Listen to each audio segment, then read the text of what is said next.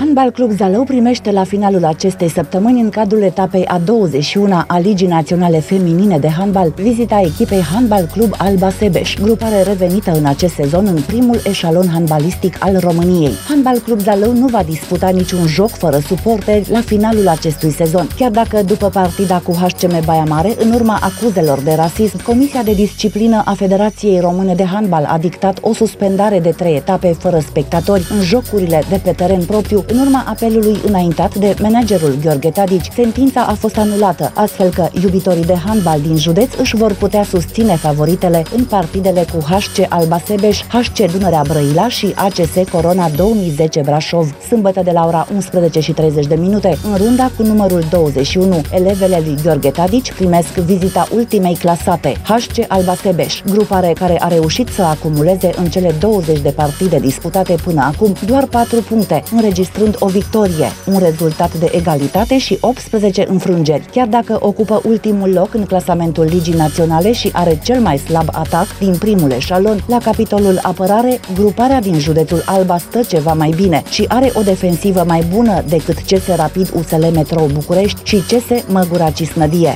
Înaintea etapei de la finalul acestei săptămâni, Handbal Club Zalău ocupă locul 8 în clasament cu 29 de puncte și are avans de 5 lungimi față de următoarea clasată, HCM Râmnicu Vâlcea. Dar pentru a fi sigură de clasarea în primele 8 echipe la finalul campionatului, sălăjencele nu au voie să facă niciun pas greșit în jocurile de pe teren propriu, dar nici în deplasarea din runda următoare, programată exact peste o lună de zile pe 26 martie, când se vor duela în capitală cu penultima clasată, echipa CS Rapid USL Metrou București. Duelul de mâine dintre HC Zalău și HC Alba Sebeș va fi găzduit de Sala Sporturilor din Zalău și va fi arbitrat de Daniel Baso și Florin Tofan din Galați.